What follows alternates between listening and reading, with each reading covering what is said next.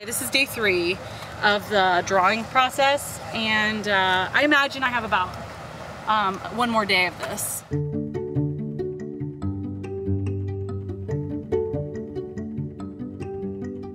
It's just so liberating just to draw really big on walls. My art is colorful, cheerful. Um, I'm hoping to bring some light and love and good feelings to otherwise ordinary places. We're in Westgate Park. Westgate Park is a 47 acre park. It is the largest park in the city and it's in the Westgate neighborhood on the greater hilltop area of Columbus on the west side. We're standing right now on the west facing wall of the racquetball court in the park right in front of Danielle Poling's fantastic food garden.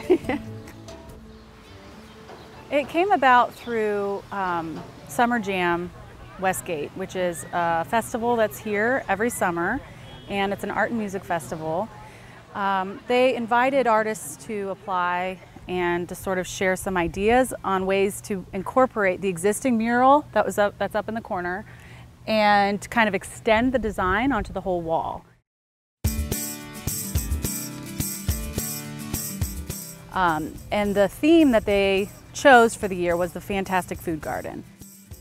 The, the wall was just 80 feet of gray cement and it was tagged all the time. So this year we're promoting community gardens and healthy eating, backyard gardening, and of course your pollinators that you need to keep it all going. So there's honeybees and monarchs.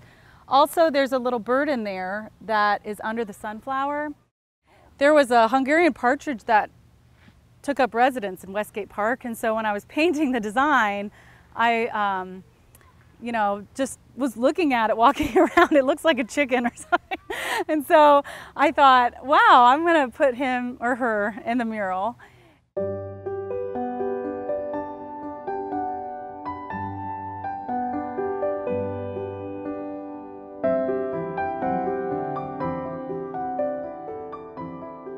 We're inviting any child in the, on the hilltop area to come out here with their parents and we'll have their hands painted and Danielle will press their hands into the petals of the beautiful flowers that she has painted over there so that all of a sudden the mural becomes part of all the families on the hilltop. It becomes their mural. It becomes something that they get to take ownership in and it'll be there for their lifetime hopefully. We have uh, a, a, special anti-graffiti coating and it gets rolled on over top. So if anyone tags it or spray paints it, it's a simple soap and water soft brush and power washer and it's gone. Yesterday I, I heard um, a grandfather and his grandchildren walking past and he said, go stand by the mural, I want to take your picture. And I think public art has that ability to bring people together to, to not just make the mural, but to enjoy it and to find a, a sense of place. We're so void of so much public art up here on the hilltop, and we just want to bring it out there for everybody.